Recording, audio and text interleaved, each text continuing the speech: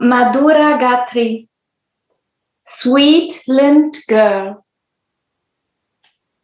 when will my hair stand on end of ecstasy? When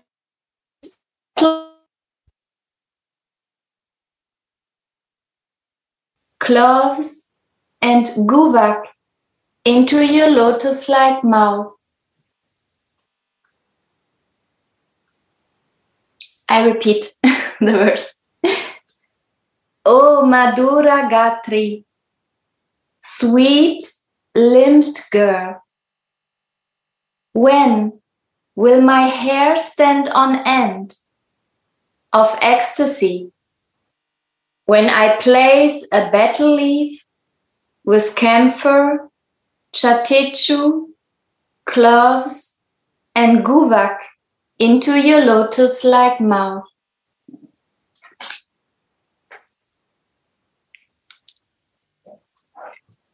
Notes In Svarupa Vesha, Sri Raghunatha Dasa has a wonderful relish of devotional service.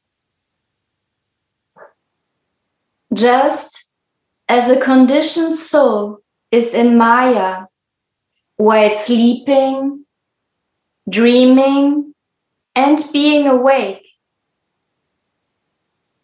the devotee is always absorbed in bhajan while sleeping, dreaming, and being awake.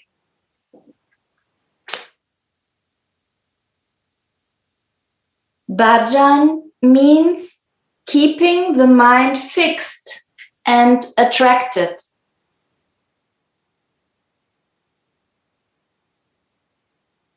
The mind should be poured into the Yugala Kishora.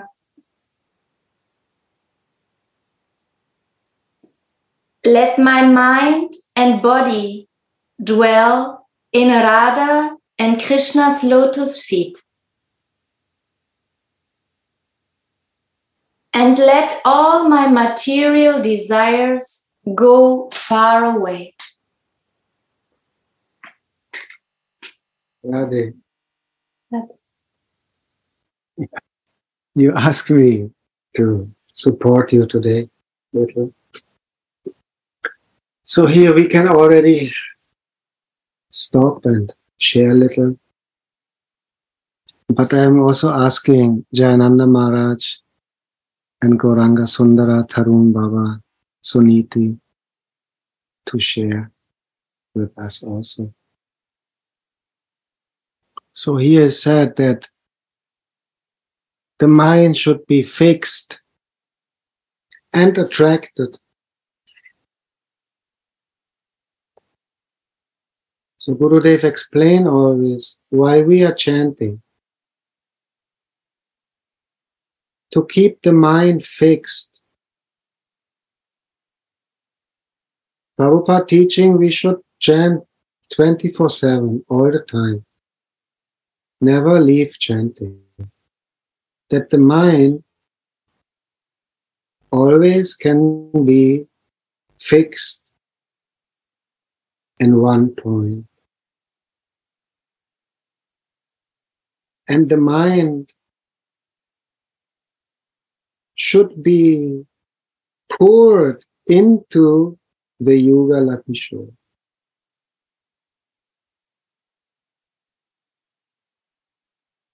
So in chanting, it means that we not just chant mechanically, like a robot or like a machine. Chanting is also called smarana. It's not kirtan. It's part of smaran, meaning that while chanting, we remember. What we remember? We remember the Yugala Kishore, their forms, their qualities, and their pastime. Rupa Guna Lila.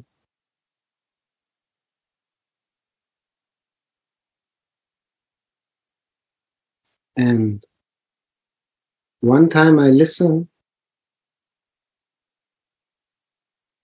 like a technique of chanting. Radharani, she has a beautiful braid. And the braid is you take one part of the hair and have a second part, and then you make the braid. like. So enchanting that also can mean that on the one side, we put our mind into the mantra. And on the other hand, we put the mantra in our mind. And then we put the mind in the mantra and the mantra in our mind. So making a braid of Radharani while chanting.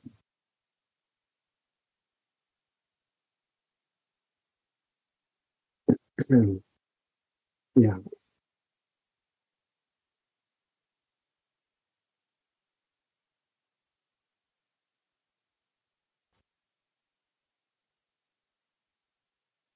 And the mind and the body should dwell in them, in the lotus feet.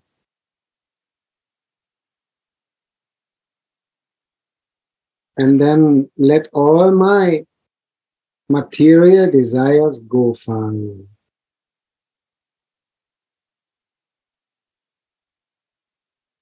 I learned something about Bhagavad Gita. I listened.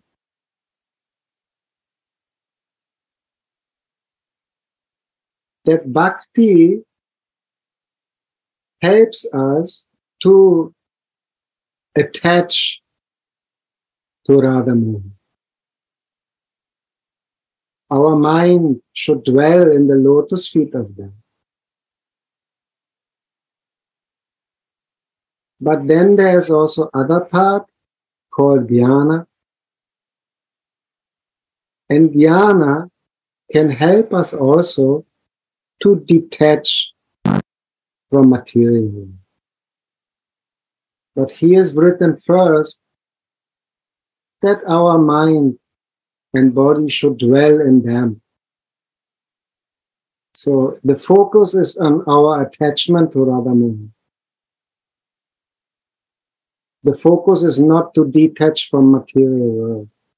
The focus is the attachment to Radha But there is a part of knowledge that can help us to detach from material world.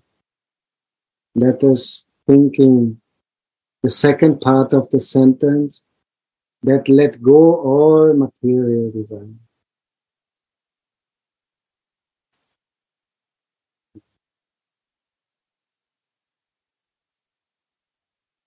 I also remember in Vrindavan, there's a famous t-shirt in the market you can buy that. And there's written never forget krishna always remember krishna. Maybe many of you they see that t-shirt before. You can see it on and i was thinking what is meaning of that probably is spoken by Prabhupada. And then some thoughts coming to me, I was thinking the first instruction is never forget Krishna. In our case, Radharani. But not possible for us. If you never forget Radharani, that is a level of rati, strong attachment, or even higher, bhava bhakti. naturally you, your mind is always attached to Radharani. You never forget Radharani. That is the first instruction. But for me and my stage, not possible to do that. So for me, second instruction, always remember Radharani. So I try not to forget, but I forget. So then I remember.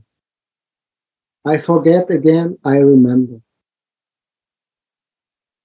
So the first instruction is like Bhava Bhakti.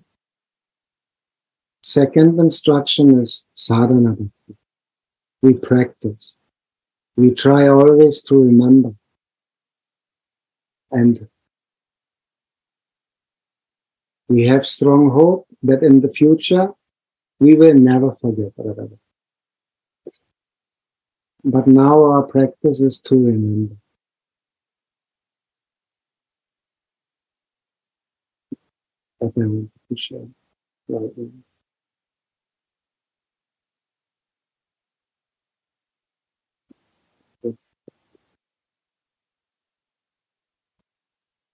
Beautiful. So this Baba mentioned bhajan means keeping the mind fixed and attracted. Already Gaurachandra uh, explained. And I was reading in Radharasa Sudhanidhi. And then Ananta Das Babaji Maharaj said, we are chanting using mala. Mala means Ma means wealth. La means giver, giving. So we are chanting. So that wealth is giving or giving or was given. what kind of wealth is there? As this Baba say, let my mind and body dwell in Radha and Mohan's lotus feet. So Radha, the Radha Mohan's lotus feet is wealth. Also, bhajan means chanting and meditation. Mantra means also, that is also wealth. Because name of Radha and Mohan is as good as Radha Mohan, or even more merciful than Radha Mohan. So this is uh, Baba explained the, the essence of our bhajan.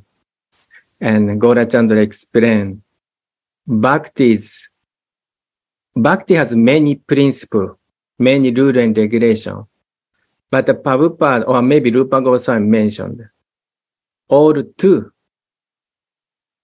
Every principle is come to this two point. Don't forget Krishna and always remember Krishna. Of course, in our case, this Krishna means Radha included. So this Gaura Chandra remind us Bhakti's most important principle. Also, Gurudeva's teaching is same. How to fix mind. One, stay Baba. This is very beautiful. Radhe Radhe.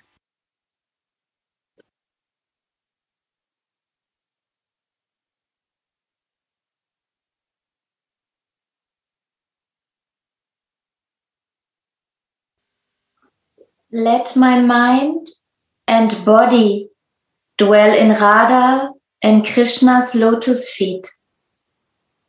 And let all my material desires go far away. Shripada Lila Shuka, being attracted to Krishna's sweetness, said in Sri Krishna Karnamrita, May my mind be immersed in the flood of bliss, Sri Krishna, that always increases the ocean of intoxication, intoxicating sweetness and causes great waves in that ocean, whose cool adolescent dress is a collection of erotic ornaments,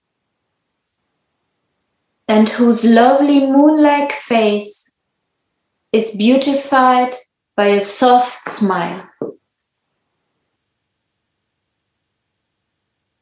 Radhe Radhe Gurudev. Nice that you're with us. Thank you.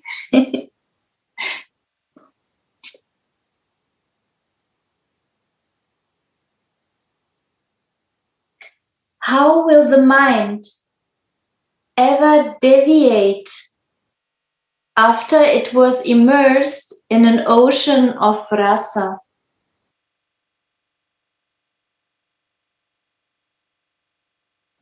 Absorption in Swamini's maid service is even deeper.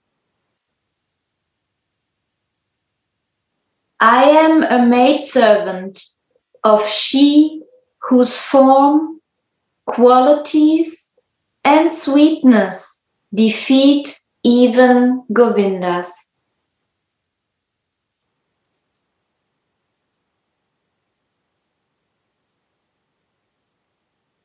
What can Maya do to me then?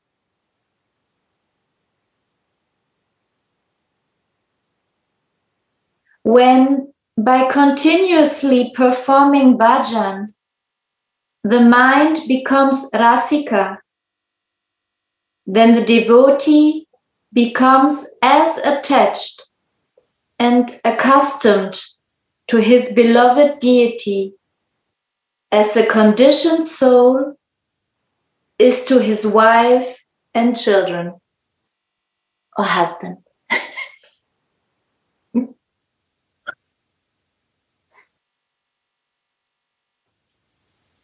Radhe. so, by continuously practicing, the mind will become rasika. Meaning, our mind now is not rasika. but how it can become rasika?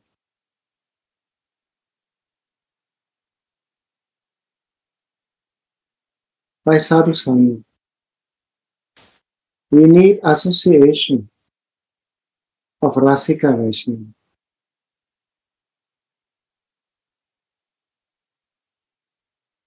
So sometimes we think that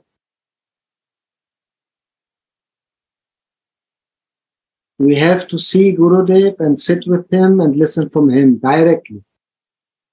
Yes, that is the best that is important to go Vrindavan and meet Gurudev. Be in this vibration, listen from him. But it's not always possible. For so there must be other way also to have association. And we have this good luck that Gurudev inspired the devotees to have this Zoom. This is also sadhusana.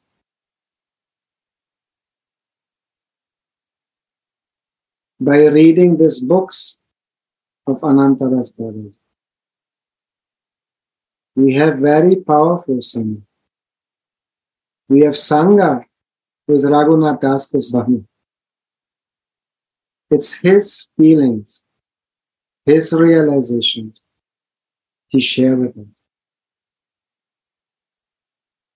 We have Sangha with Ananta Das Babaji. Direct. also his words, his realizations, his mood is there. It's very important to understand that this is also sadhu sangha. Now, direct by conscious listening, we have that association.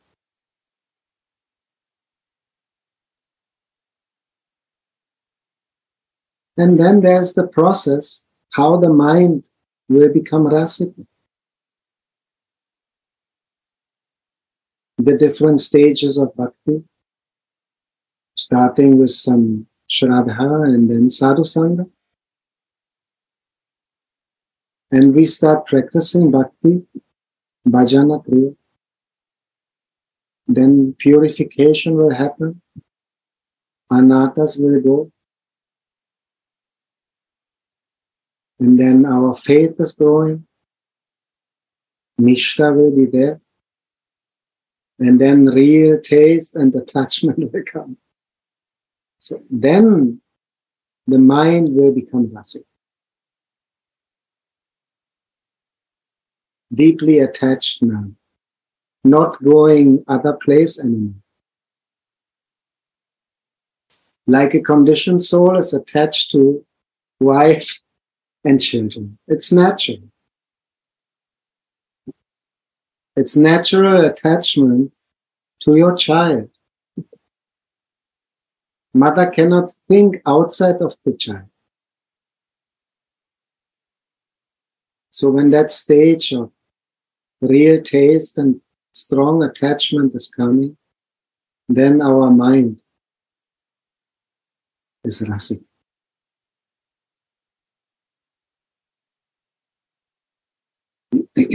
yeah,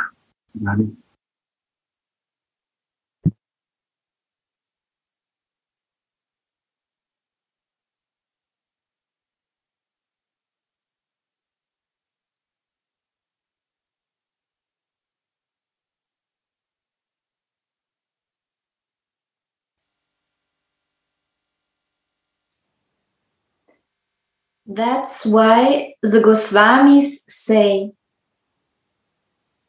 we want sasanga bhajan, worship with attachment to the deity. Anasanga bhajan, worship without attachment to the deity, won't do. It is my duty to chant the holy name a fixed number of times. That's why I do it. But I don't relish the sweetness of the name. Mahaprabhu could not even pronounce the word Jagannatha when he was in ecstasy while dancing in the Ratha Yatra. Jag, Jaja Gaga, Jaja Gaga, Gadgada Vachana, Chaitanya Charitamrita. He was saying Jaja Gaga, Jaja Gaga with faltering voice. Then the Lord relished Pratipadam Purnamrita Svadanam, the full nectar at every step.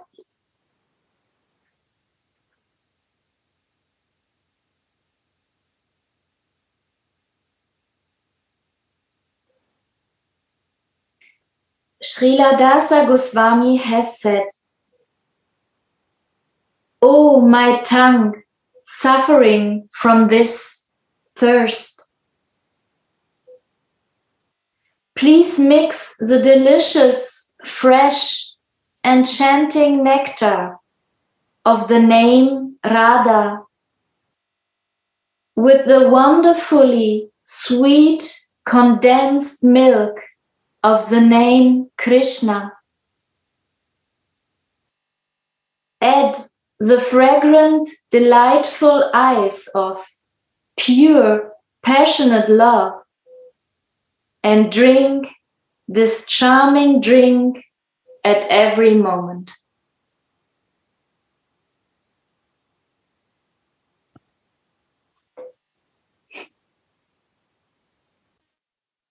I think here we have a very, very sweet explanation of Mahamantra.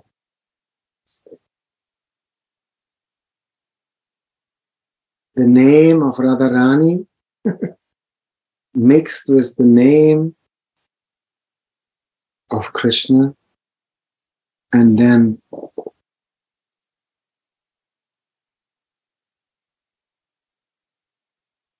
add the fragrant, delightful eyes of pure, passionate love. I think this is Rama. Hmm? You have Hare Krishna and Ram. You have the sweetness of Radharani, and you have Krishna, Hare Krishna, and you have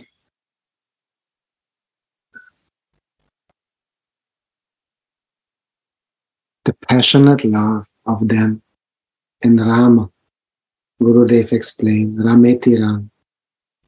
They're always together and strongly embraced because of their passionate love for each other.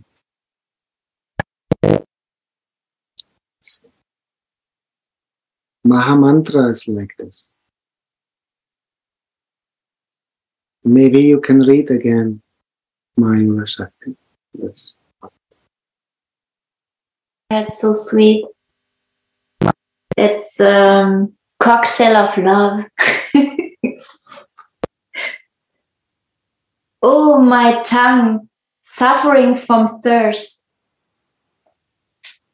Please mix a delicious, fresh, enchanting nectar of the name Radha with the wonderfully sweet condensed milk of the name Krishna.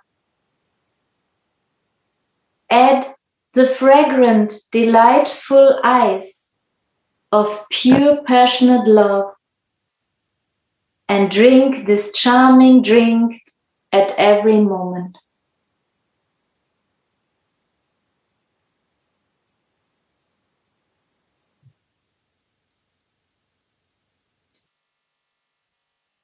also reminds me of Mahaprabhu.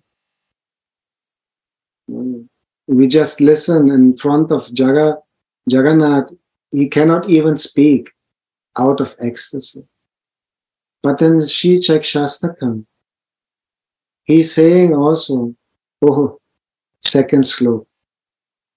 I have no taste for chanting. I'm so unfortunate. Everything is there in the name.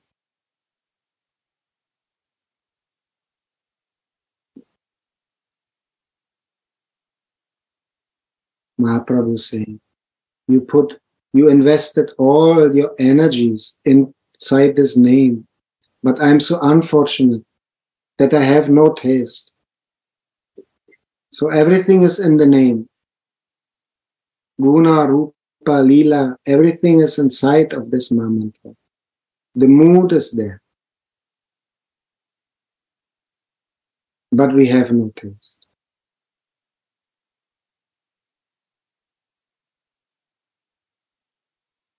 But Mahaprabhu, when he praying like this, also in the fourth sloka, Naranam Najanam Nasundari, I don't want this and that in this world. My only desire is to be your servant life after life, speaking like a conditioned soul.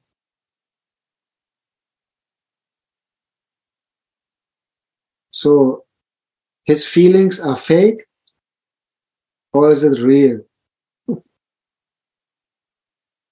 he has that experience thinking of himself like a conditioned soul.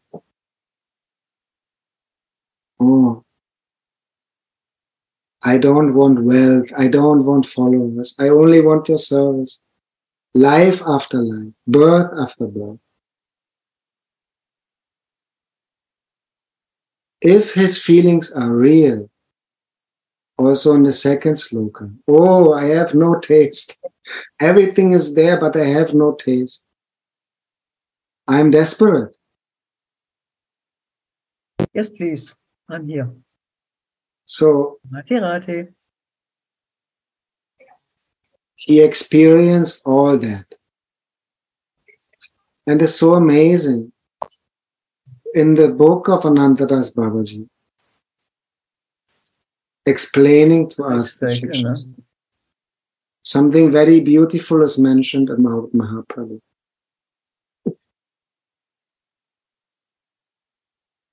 He came down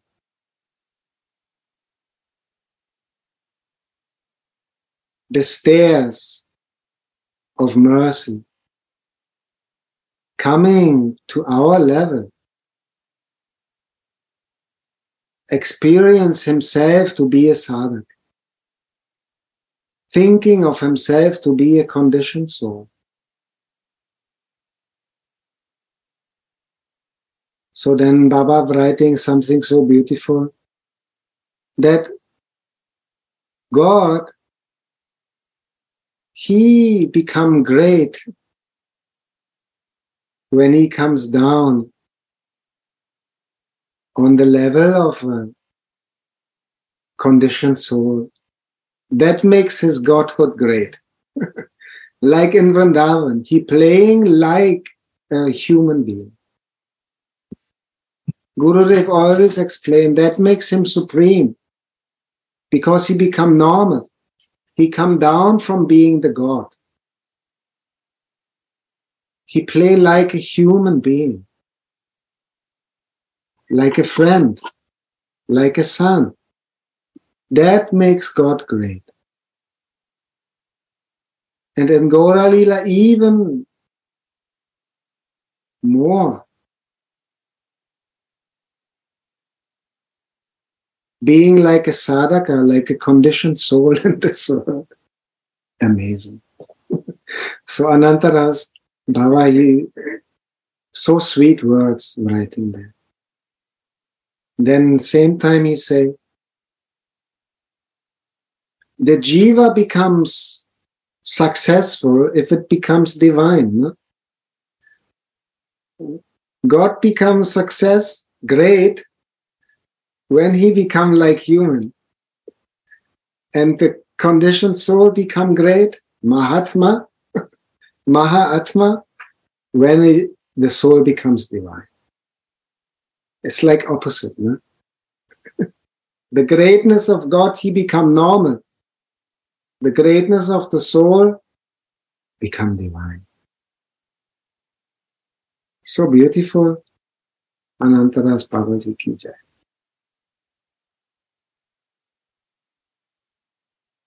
Shri Radhe.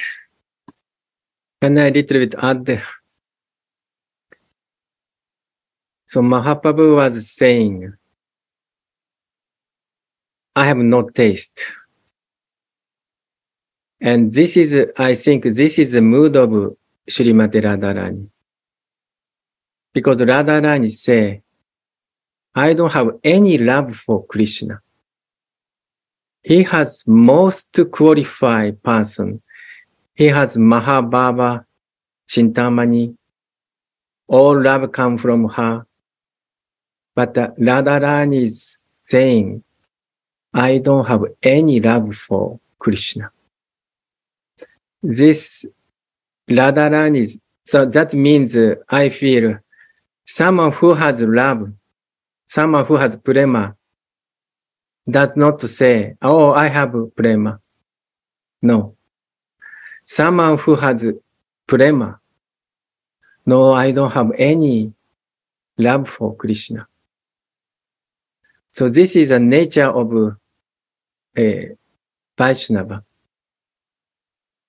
And uh, this humbleness become uh, that person more great so Mahaprabhu, I, so Gaurachandra saying, I don't have any taste But that is uh, Radha's feeling. And uh, Premika Bhakta has also same feeling. If we see Anantasvaji Maharaj book, he says sometimes, no, I don't have, I'm such fallen condition soul. He was saying sometimes, but that represent his greatness. Sometimes Gurudev say, oh, I don't know anything. I don't have any love. But it shows us his greatness.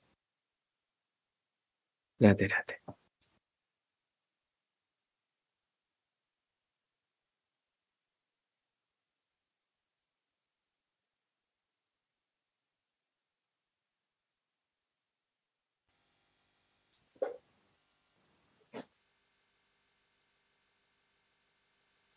The acharyas teach us that we must relish each item of devotion in this way. All other desires, from sense gratification to liberation, are all cheating. As long as such cheating propensities are there, there can be no pure devotion, let alone raga bhakti. Wow.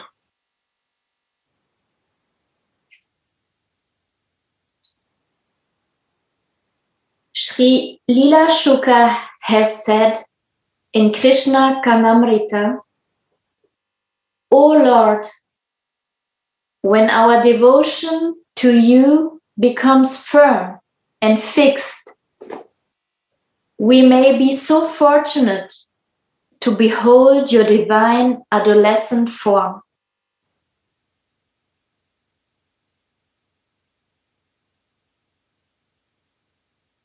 Liberation will personally serve us with folded hands and reli- religiosity economic development, and sense gratification will be waiting for the appropriate time to attend to us.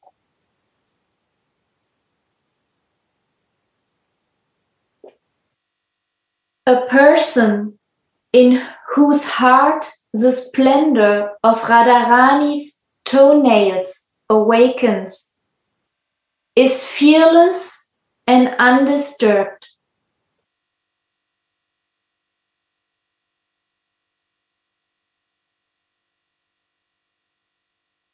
Renunciation is there in the minds of those who are absorbed in these lotus feet.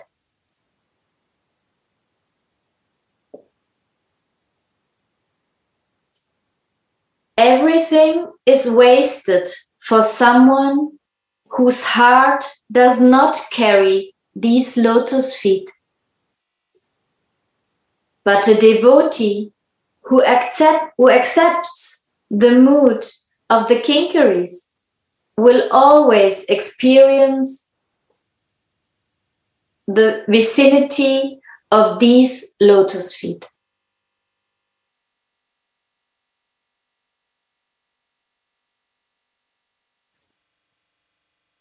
Here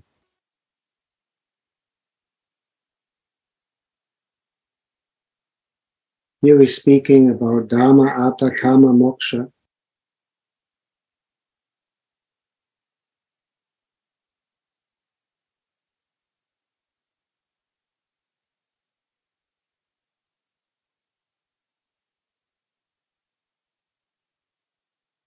Yeah, and how all these purposes of life are serving to the fifth goal of life, to prema. They become servants of prema, of bhakti.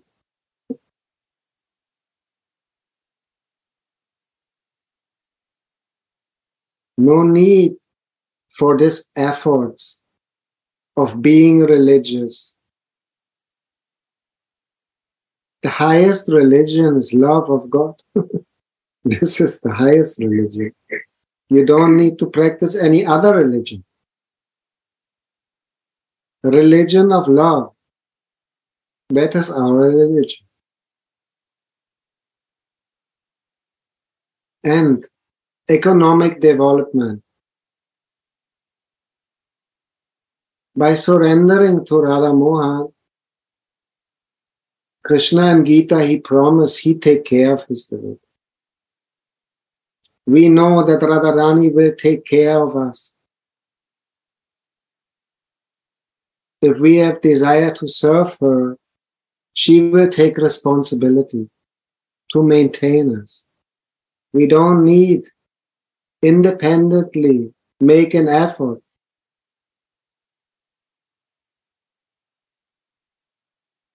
For our economic situation. Of course, that is also a process in our faith that we are maintained.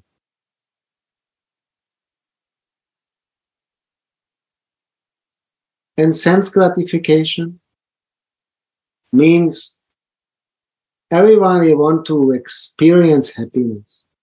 Why people going for sense gratification? Because they want to enjoy something. Want to feel kind of happiness. But now my happiness is inside. I relish the service and the connection with Swami.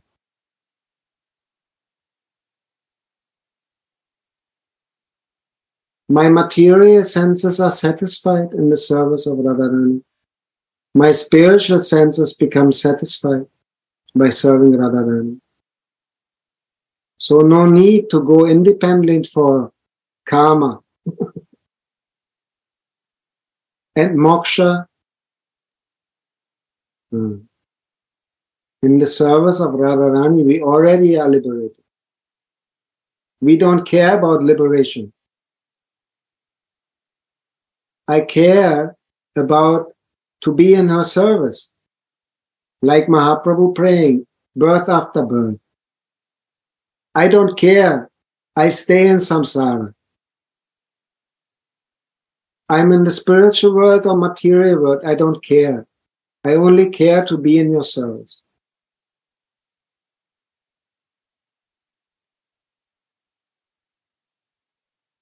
Prema, love, spiritual love, it's much higher than all the other purposes in life. And by that, Baba writing here, you become fearless and undisturbed.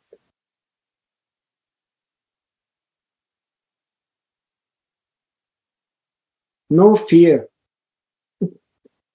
No money, no problem. Nothing is a problem. If you are happy, inside happy, connected, you relish the sweetness of Radharani's service. Then why to bother about money,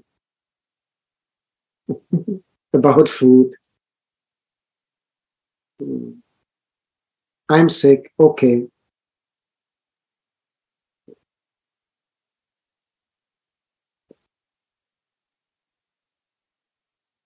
We become fearless and undisturbed, and all purposes of life are fulfilled by becoming a dasi of Srimati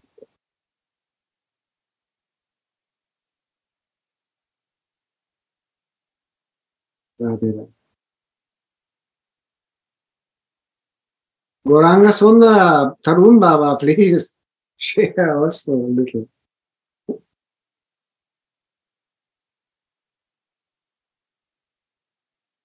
So I want to little share then. So Bhagavatam mentioned I think second verse or third verse. Nigama Garpataro Garitam Param. Or, so Bhagavatam mentioned after finishing Dharma, Artha, Karma, Moksha, that person can taste this Bhagavatam. So means, and Prabhupada mentioned, someone who has no envy, that person can taste. So he, it seems here Baba also saying, if we want to lead, that qualification is indirectly Baba want to say. Dharma, Artha, Kama, Moksha is all cheating, which Gorachandra saying. For us, conditioned soul, it is very good thing. We want to be good person. We want to be very rich. We want to satisfy our senses. Actually, it seems very good. But here Baba saying, all cheating. Because we cannot attain the lotus feet of Radha Mohan. Just Dharma, Artha, Kama, Moksha.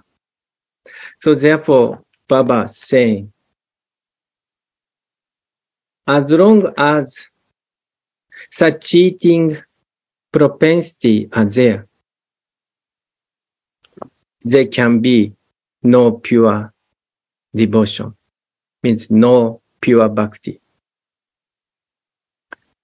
So, and then what to do? We have so much desire, so much bad quality. Then what to do? Again, Shukadeva saying, I think 10th canto, 31st chapter, maybe last part of verse. If we could hear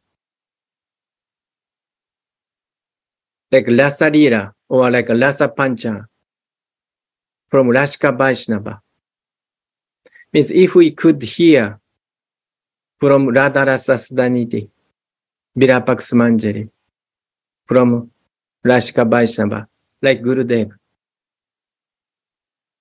then slowly, slowly, this Baba enter or Baba infuse our heart. And such Rasika Vaishnava's power, this,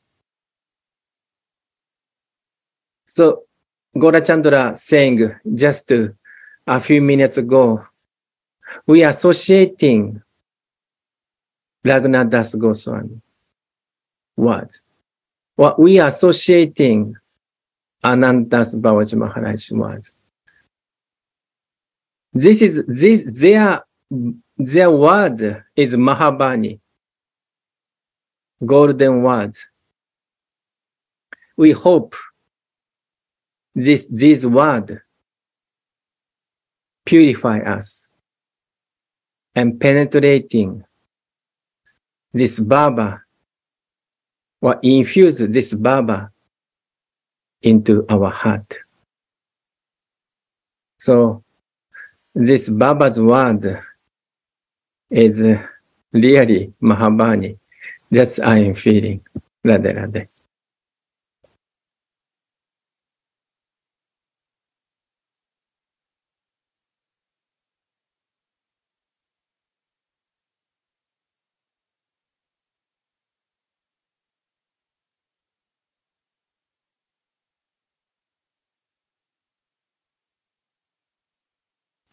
Radhe Radhe. I just wanted to add, I'm sorry, forgive me, but uh, I'm not, I like what Gorachandra was saying, but I have to say quite honestly for some of us, I can at least speak only for me.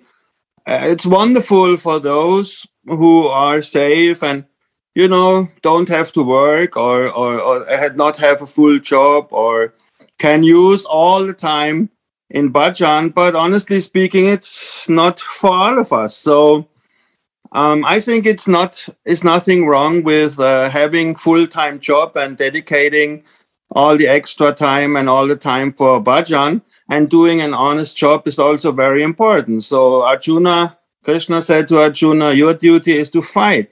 So I am happy for those who have no more duty in this world and who are free to do whatever they like.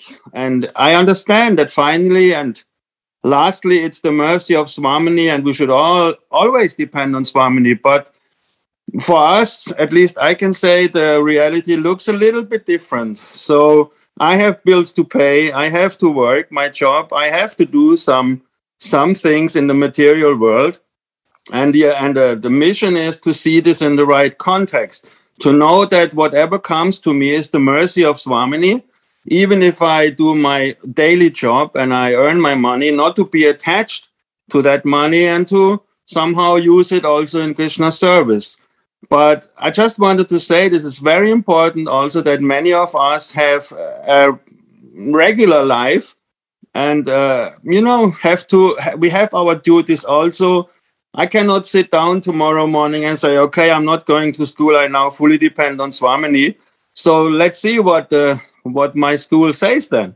Uh, if I stay at home for two weeks and say, okay, I fully depend on Swamini. I am, I don't need to work. I fulfill my I fulfill my duty. So it's not, I just wanted to say, please don't misunderstand me. It's not so easy. You know what I mean? So I think it is a balance between those who have achieved that beautiful goal, not having any duties anymore in this material world. Hooray and all glories to that. But some of us are still there. And at one time, we will also be free from our duty but honestly speaking, I I like my job and I like to be with the kids and I like to teach. But it is important to see it in the right context. My Gurudev never told me to stop working and to give up everything. So he said the consciousness is very important. You always see yourself as a servant of Swamini, even if I teach third graders, nine year olds, 10 year olds, as an example of from my position. I just wanted to add that. I'm sorry if I say something wrong. Jai Radhe.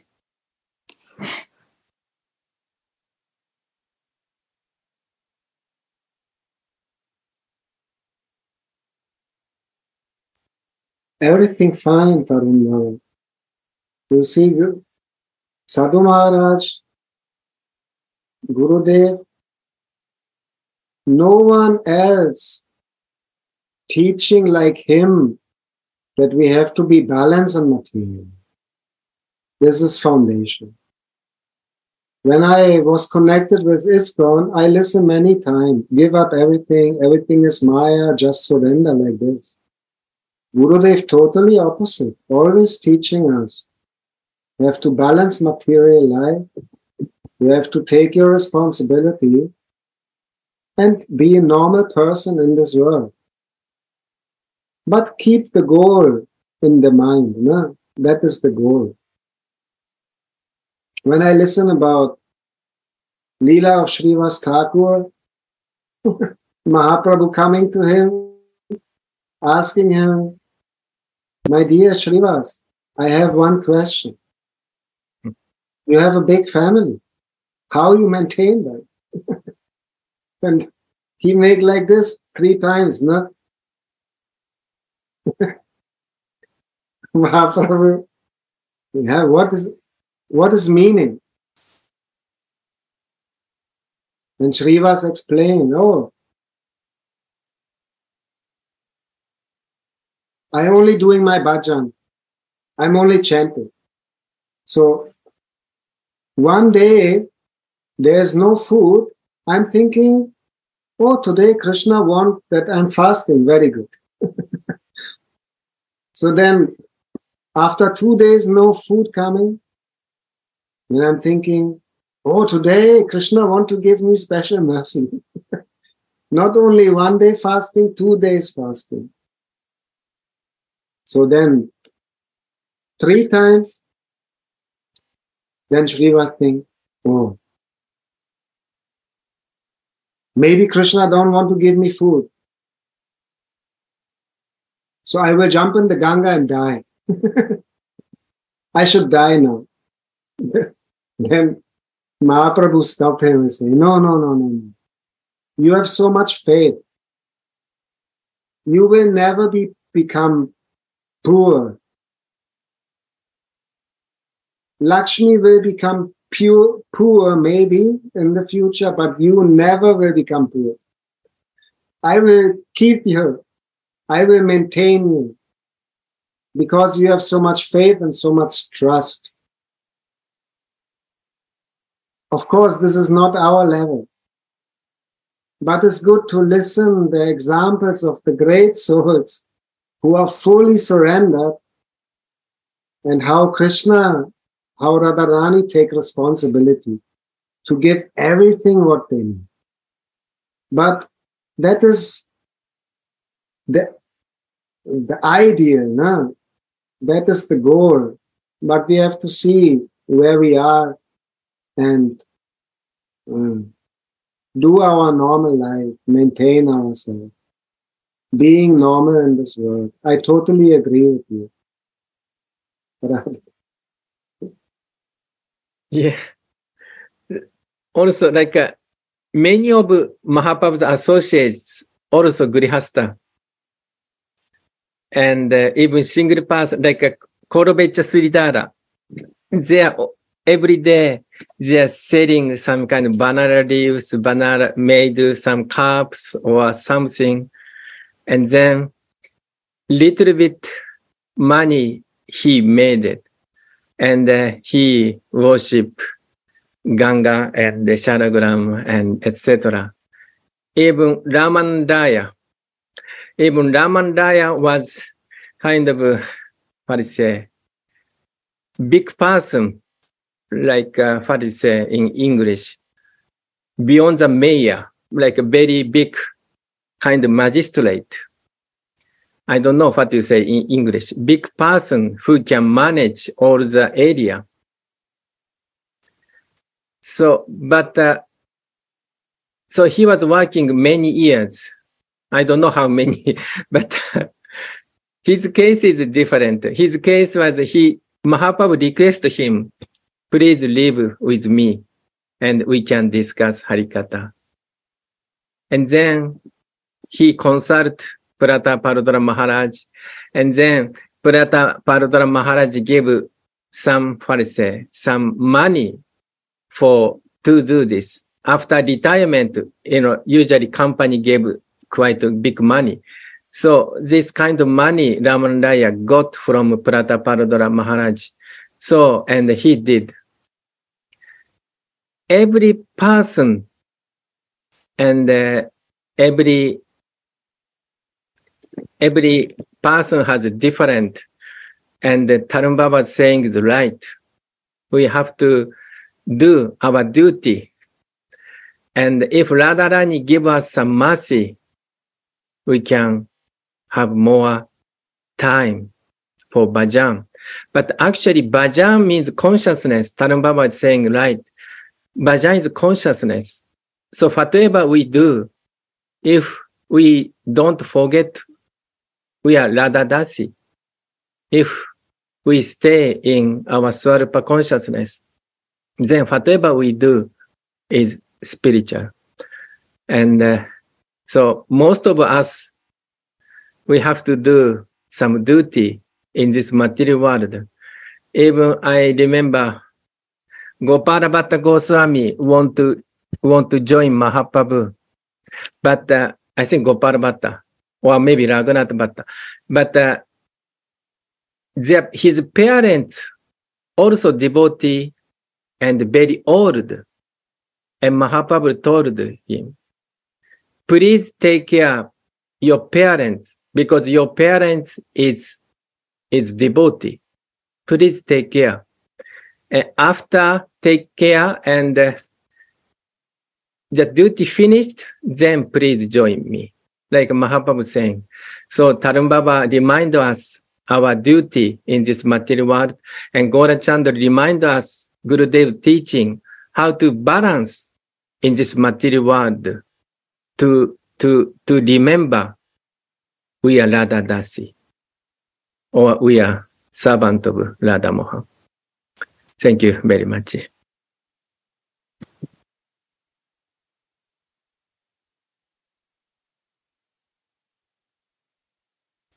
Gauravani, please share. Yeah, our Gauravani is waiting. Radhe Radhe. Can you hear me? Yes. Yes. Okay.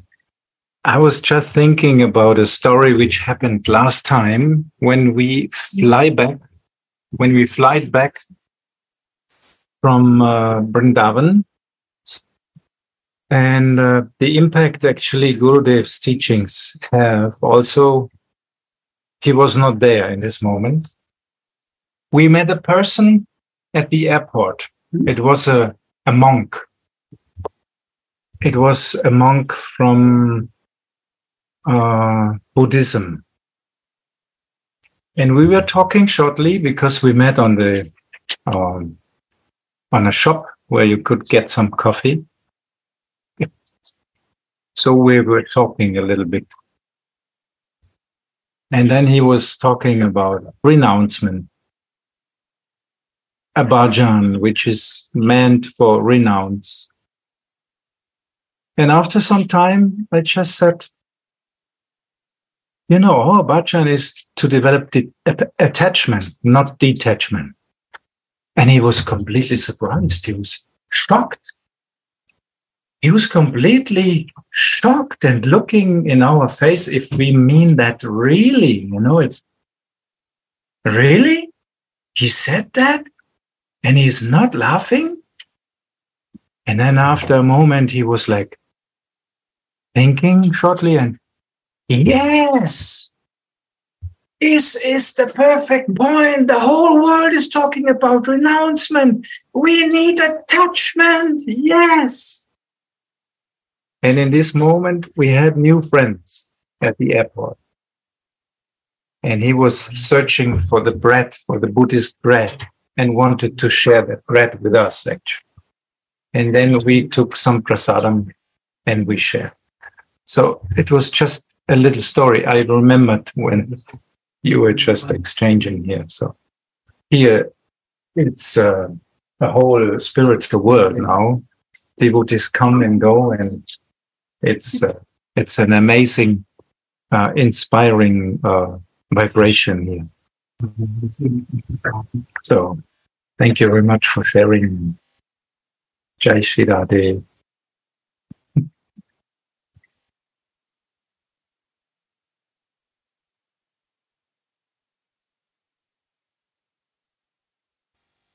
so beautiful to listen to all of you. Perhaps we can get some nectar drops from Vrindavan. Radhe Radhe, Gurudev, you want to share something with us?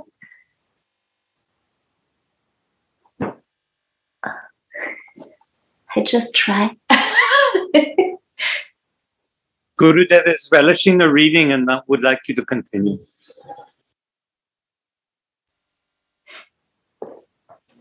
I repeat the last um, beautiful sentence we read.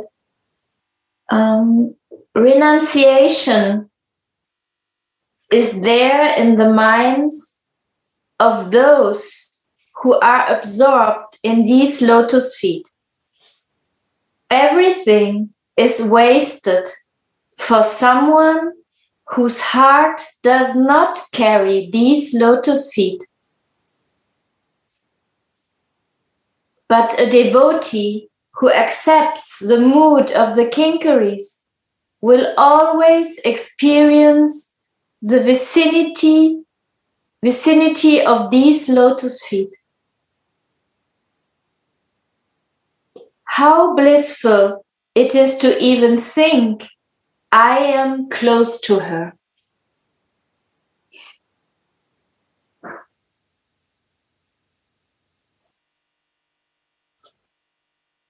Swamini has received the nectar of Krishna's lips. The jokes of her sakis crystallize the sweetness of their savor. Tulasi seats Swamini on a stool and washes her mouth. Swamini then holds court with her sakis while a jeweled wick is burning. Tulasi then comes and stands before Swamini, carrying a jeweled plate with a self-made betel leaf containing cardamom, ground catechu, nutmeg, areca nuts, camphor, and cloves.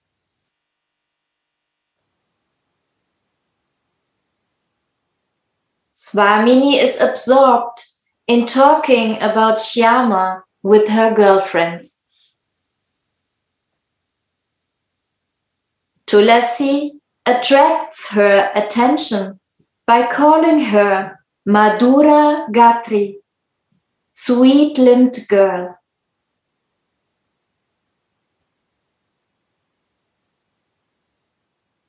When is she Madhura Gatri for the Kinkaris? When she is with Shyama. Nothing is as sweet as that.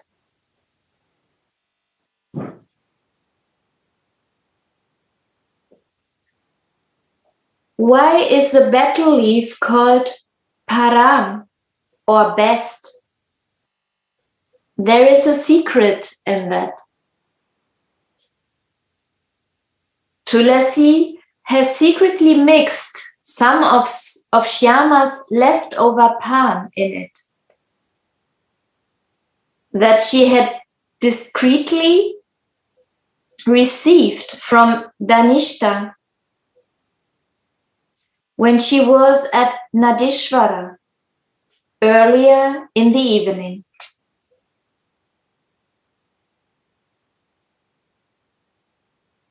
Danishta knows what is on Swamini's mind. Therefore, she has given these betel leaves to Tulasi.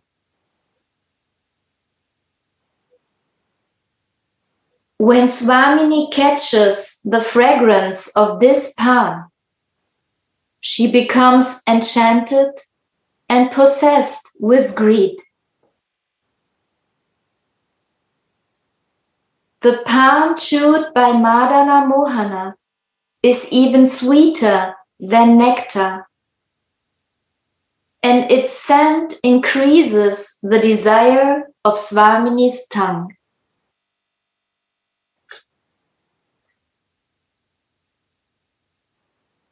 In Govinda Lilamrita, it's written, O Saki, Madana Mohana increases the yearnings of my tongue with his nicely chewed betel leaves that defeat the sweetness of nectar.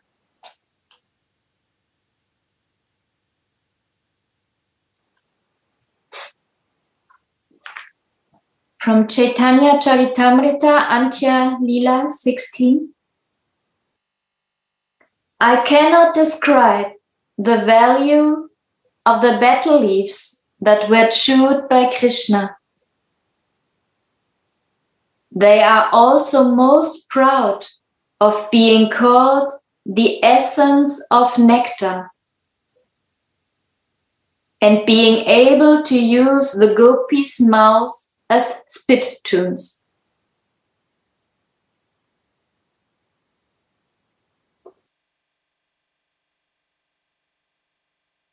This pan is the greatest elixir When Swamini smells it, she becomes overwhelmed. It is as if Shyama Sundara has appeared in person.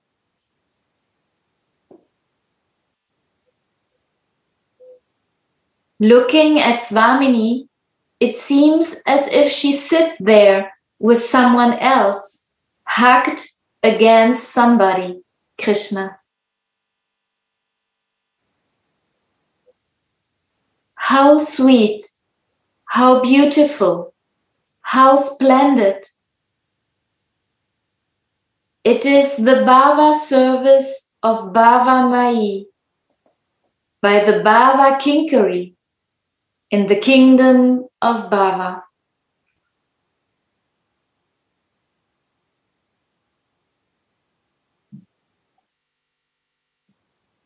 Without Bhava, this cannot be grasped.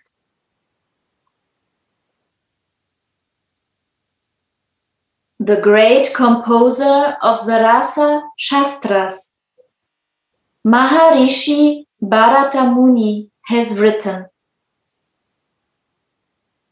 When Bhava becomes mature, it attains Rasa Rupata, a form of rasa. Bhava is understood to mean manovriti or mentality.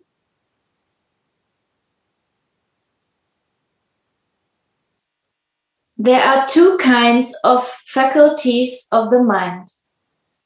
Here, I think it is also very, very important to understand here why the betel leaves are so much praised. And I think also, like I was speaking with Gurudev yesterday, the superiority and the very special position of the manjaris again is here nicely shown because quite quite honestly only they know why the betel leaves are so so special to swamini because like we heard now from baba that they they contain already the prasadam of the supreme lord of her beloved so swamini when she eats these betel leaves it is as would as it is as would their lips touch each other. So when Swamini is eating these betel leaves, it's like she is kissing uh, Krishna. So therefore, this is so much. Therefore, it's called the greatest and the highest. So that's the secret in these betel leaves. And I think not. I think there's only this secret. Only know the manjaris. And this is again the beautiful, beautiful position. Again, our our supreme fortune to hear this and to listen this because who else knows what is really there in the in the betel leaves which is radharani chewing. She is not chewing leftovers you know that there are lying some betel leaves. No no no no. The mantras they mixed in already chewed from krishna so that again their lips can meet. So this is a great great secret only the manjaris know, and now by the grace of Baba and Gurudev, we know.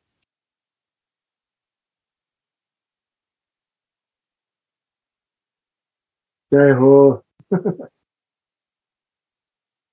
now here in the Leela, Swamini not even eat it. Not yet. She just smelled it and already going mad. Know? Going like in a swan, like she feels already so close to him, she leaning to him, but he is not there. No, it looks like she leaning on him.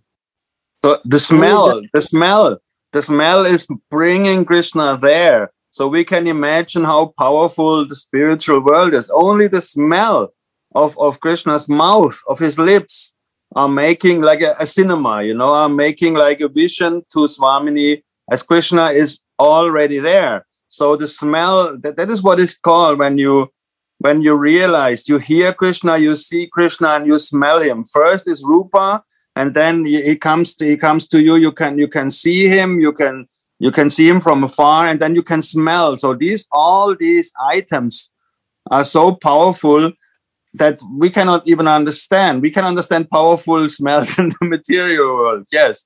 But here we can see that the smell of Krishna's lips. is—it's it's just chewed, leftovers from Krishna. It's actually Krishna Prasadam is so powerful for Swamini that she already sees him. And why? The interesting point is also why is she able to see him? Because she is the personification of Mahabhav. She has Madanakhya Mahabhav. So everything which is reminding her of the Lord is making her in ecstasy.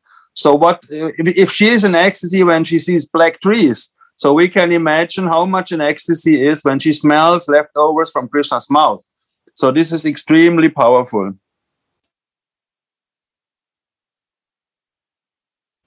And I want to add something more. You explained so nice the extraordinary position of the Manjari. Before we're reading that Tulasi Manjari calls her, oh, sweet limp girl. No? When Radharani become sweet limp girl for the kingdom, when she is together with Shyam. So that also only the Manjaris can experience. Because only in the Nikunja her limbs become visible. and only in the Nikunja, Nibhrita Nikunja, the Manjaris can be there. Sakis cannot be there. Usually Radharani, she is well, uh, pious? No. Koish? What is Koish? In English, Koish? Chest, chest, chest, chaste, Chaste, chaste, chaste chaste. is rarely to see her feet, is covered by the skirt. She wearing a veil no, around and cover her hair most of the time. No other male can see her like this, looking down when she is moving in Vrindavan. but when she is going in the Kunja, she opened more. But in the Nibhrita Nikunja, her limbs become visible. But only Manjaris can see them when she is with Shiva. Extraordinary position of the Manjari. We explain. Radhe.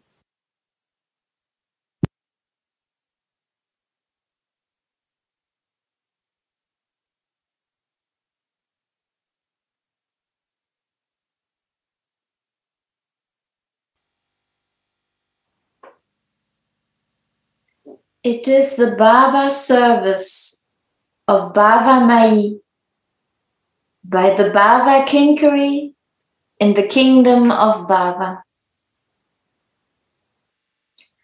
Without Bhava, this cannot be grasped. The great composer of Sarasa Shastras, Maharishi Bharata Muni, has written When Bhava becomes mature, it attains Rasa Rupata, a form of rasa. Bhava is understood to mean manovriti. Oh, sorry, I'm, I'm repeating too much. Or mentality. Uh, I just continue, sorry. there are two kinds of faculties of the mind. This is The a good point. The- My Yoga Shakti is so nice that you repeat that point because there's one more. There's one more point in this line. You see, when bhava is maturing, it becomes form. So the feeling, the feeling we have, like in Sadhakadeha, when we move to the stage of bhav, the spiritual form, the Siddhadeha becomes visible. So here, Baba is saying that when bhava matures, it becomes a form, bhava rupata, it becomes a form of path. So this is also our spiritual body. Right now, I cannot see and realize my spiritual body, but if bhav matures, that means if my realization or if my journey comes to that point when I reach the stage of bhav, I constantly live as my spiritual body. It becomes a form and I can realize it and see it. In fact, really see it. So there are many levels of what Baba is writing. And this is one of those levels when bhava matures, we can experience nicely our spiritual body, but not, you know, this is, yeah, it, it must mature. That means we we prolong our way of bhakti, our sad, raganuga sadhana by the mercy of Gurudev. And when our bhav matures, we realize our siddha there. This is also a very deep, deep point in that line. I'm glad that you repeated.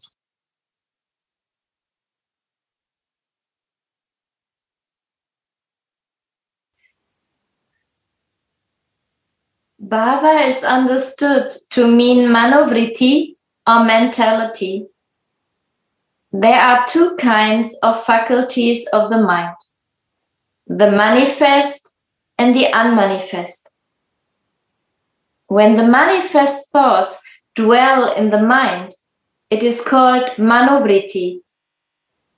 And when the unmanifest thoughts are there, it is called samskara, vasana, bhava, or bhavana. When this devotional samskara takes a place in the heart by the grace of the saints, all will be understood, experienced, and relished. Radhe. Honestly, I try to understand it. I was reading it two times, three times. I not clearly under, understood that. But I can give one idea, but I'm asking for better explanation of the subject. Like Tarun Baba said, this is very important subject. I'm also agree, very good that you repeat that, uh, Maya Shakti. So there are two kind of faculties of the mind. One is manifest and unmanifest. So the manifest is called manovriti. I understand like that. That is our conscious thoughts. That is what we are aware of what is going on in our minds. And then there's something deeper, unmanifested.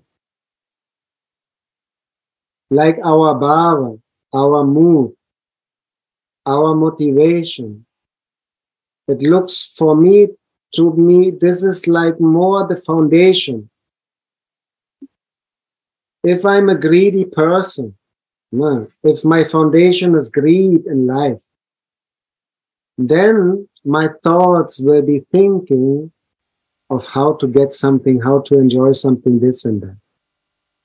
But the unmanifested attitude, my foundation, my mood, my approach is the foundation of what is going on in my manovriti, in my conscious process of thinking, desiring, and this and that. So the unmanifest the foundation, the deeper thing, is called samskara or bhava. So we have sometimes from previous life a samskara or deep impression in our hearts already for devotional service or for bhakti or a mood of service. So coming from that foundation, our manifest thoughts, processing, thinking, everything going around or connected with our foundational or deeper mood. So Baba writing here when the bhava, the samskaras in our mind become mature, deepen. Our mood is fixed, the stay bhav is coming. Then we can experience and relish. And also in the manifested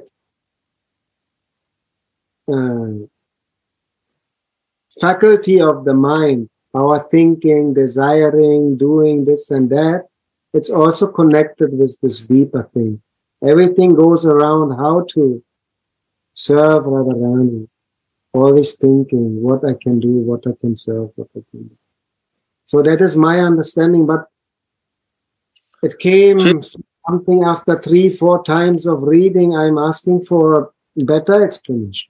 She, uh, Mayoka Shakti, please read what Baba Baba is giving the explanation. The last, maybe the last or the last before sentence, Baba is is saying. Can you read again? he's saying that he's. I think he's giving the answer there already. So you want that I repeat or that I go, Yeah. go on? I re- No, no, no, no. uh, Repeat. La- maybe last or one before last. Let me hear. Yeah. Bhava is understood to mean manovritti or mentality. Mhm. There are two kinds of faculties of the mind the manifest and the unmanifest. When the manifest thoughts dwell in the mind, it is called manovritti. And when the unmanifest thoughts are there, it is called samskara, vasana, bhava, or bhavana. When this devotional samskara takes a place in the heart by the grace of the saints of the saints, all will be understood, There you have it. There you have it. So there you have it. There is the answer. This is the easy answer. It's all like Grace we're of the saints. always saying, all is by kripa. So this has to take place in the heart. This process, this unmanifest process has to take place in the heart by the kripa of the saints. It's no other way, no other way, no other way. We cannot do it on our own. It will never take place in our heart on our own. Baba is clearly saying here, this can only take place in the heart by the, the, the grace, that means the kripa of the saints. And this is Guru Shastra. This is what everyone is saying. This can only manifest.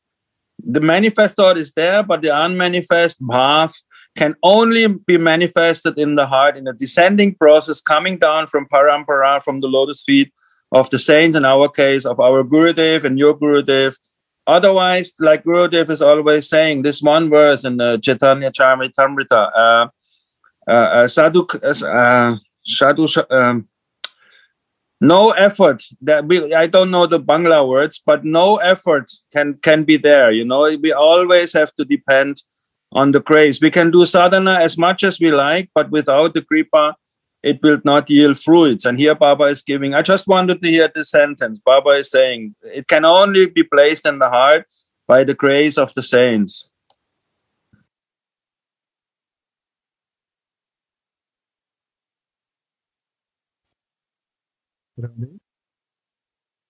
Maybe I can say something. Uh, in this connection, actually, all mentality, material mentality, and spiritual mentality, Manovri, depends on Sangha. Which kind of Sangha we have in our present life or we had in the previous lives, this kind of mentality is stacking on our subtle body or mind, even heart. We say chitta. Yeah. So, like Baba is saying, and Gorachandra and Tarun emphasizes this, that actually mentality depends, spiritual mentality. Spiritual mentality depends on the association of sadhus. And for that, we need that association to develop our mentality. But also, this kind of mentality is specific mental culture, which is also, if it's spiritual, under the influence of spiritual association, that this mentality is like a mental culture, and this mental culture is something which helps, which is the sign of spiritual eagerness. In material life is the same thing. If we are under the influence of strong materialistic persons, strong materialistic values in the life, we build mental culture. And this is desire. Desires is something which brings and build mental culture or mentality. So in both cases, this sangha is important and also emotions are very important important. Because if my emotions doesn't react on something my mind will not create mentality for that. But if my emotions are very attached for material or for spiritual then mentality will be created automatically in my mind and my in my heart. So this deep connection tight connections we can say between emotions and association builds mentality which is suitable for fulfilling our material desires or eagerness or to fulfill our subtle spiritual desires. And it's very interesting that these spiritual desires, Baba is saying here, is unmanifested. They are deeply rooted in the heart, impressed in the like samskaras. And suddenly, when devotee or person, not devotee, person hears something about Krishna consciousness in general way, he feels attraction. This attraction is the sign of samskara, which is the result of impression from the heart of saintly person. In this life, or maybe who knows when, in which life. So this, for me, it's um, somehow important that we always should be aware with whom we are associate, because this association creates our mentality or manovrit. So I just wanted to. Yeah, this is just this is a study. wonderful, wonderful, wonderful point. Thank you so much. Very important point. Yeah, I agree also. Very nice.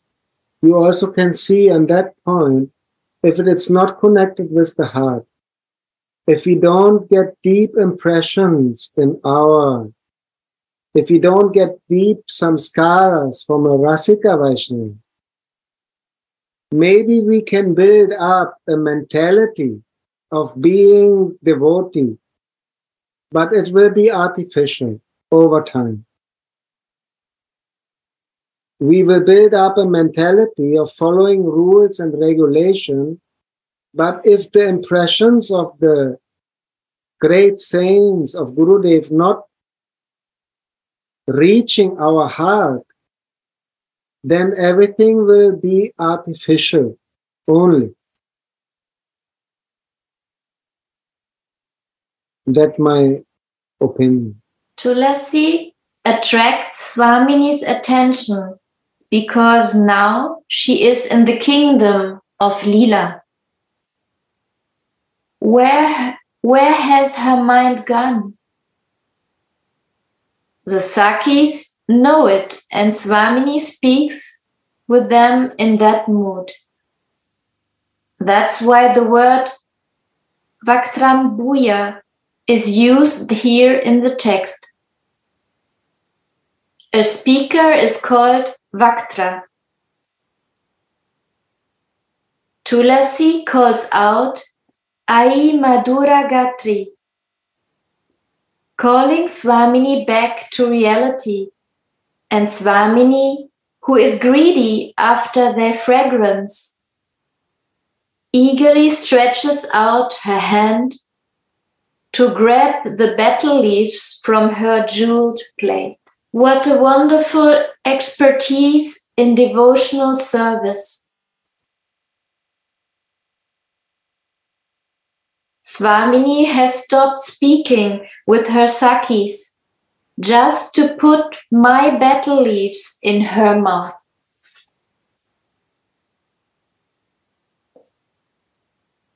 As soon as Tulasi offers the betel leaves, she cannot see Swamini's mouth anymore.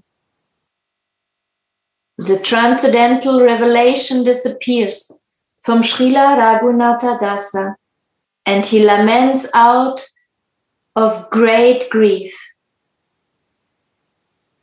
From Sri Haripada Shila. O sweet formed Radhe, O young adolescent girl, your maidservant has goose pimples of ecstasy on her skin. When she offers betel leaves with camphor to your lotus mouth. When can I serve you in this way when the time is right?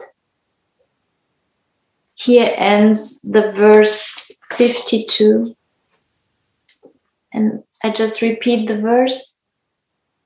O Madhura Gatri, sweet limbed girl, when will my hair stand on end of ecstasy? When I place a betel leaf with camphor, catechu, cloves, and guvak into your lotus like mouth.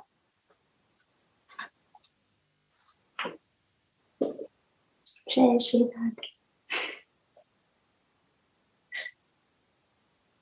Gurudev, some sweet words from you in the end, please. Radhe, now Gurudev has some guess, but he's thinking of you and listening. Radhe. Thank you all so much for this beautiful sharing. Please, but if somebody wants to, uh, yeah, give some more drops, please. I have to say again that I like so much this point from our dear Gora Sundara from really, really, this is such an important point. We can all realize he says materially and spiritually, whom we associate with is doing the impressions in our mind. And this is always when, when Rupa Goswami is writing this, I so many times said about that verse, this Sachati and Snigdha Sangha is utmost important. So we really need not just any Sangha, it, we need two kind two the attributes are there adjective in german. There are two attributes of our sangha sachati and snigdha. So everybody of us we know how it feels when you associate with someone and you feel not good afterwards. That was not a snigdha association and also not a sachati. So what means sachati? Sachati means associate with those who have the same direction of your life. This means materially you cannot if you want to study for lawyer you, it's not really helpful if you associate with doctors. So in the spiritual world it's the same. If you want to have association in the sachati that means you should be like us like us here now. We are all moving in the same direction to become kinkaris of swamini. So this is sachati sangha. And then there is one more even more important point because the first one is clear now we have to first check. You know check sachati we have to be checked so this is the same direction. But also we should have association of those who love us and we love them. And they should be loving. So not harsh not rude not condescending not energy stealing. So this is the very very important point. Snigdha means those who are of a loving nature and you feel that when you associate with these persons, you feel wonderful afterwards. You don't feel bereft of your energy, you feel wonderful. So snigdha means those who are always there for your well-being, who give you very much well-being and energy and love. So these two kinds is so much important in spiritual life that we have this that you know even even your partner your brother and, and in the spiritual family this sachati thing this stai bhav we all should have the same direction and another point loving. This loving association respectful and and and in a loving attitude not not competition not conflict. So rupa goswami you know he is always using his words. You know he is he is empowered by mahaprabhu he always uses his words very very very consciously. So he uses these two words for our benefit for all time. So this is like a huge rule when you talk about sadhu sangha. These two points they must be there otherwise it's not it's not helpful. So we are happy i am happy that i can associate with people who are on the same way and who are loving and this is our good fortune. This is so important. Jai.